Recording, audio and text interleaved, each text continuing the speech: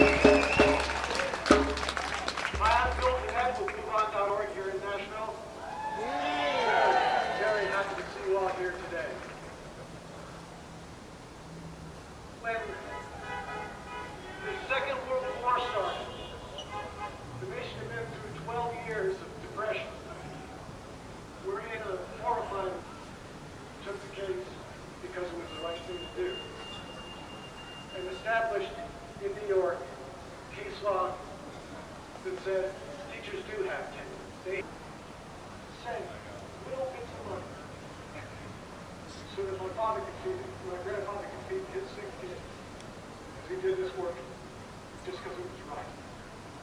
One man standing up can make a difference. And a bunch of people doing a little can make a difference. Thank you for coming today. Stand with work. Everybody knows the Citizens United decision just unloosed a flood of money that can be used on issue ads against our candidates and for their candidates. It's wrong.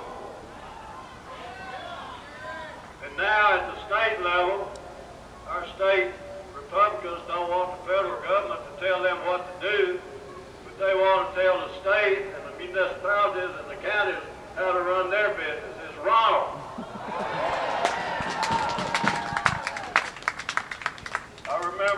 40 years ago when Dr. Martin Luther King went to Memphis in support of the sanitation workers strike, and he gave his word for those people, and he knew that he was giving his life for them when he went, but he went anyway.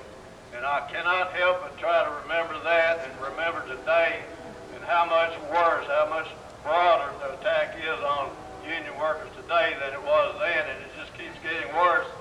And we cannot sit silently by and let this happen.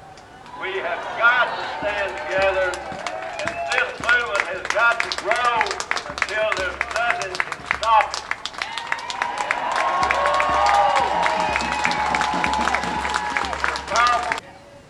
There are a dozen, 15 different organizations locally supporting this.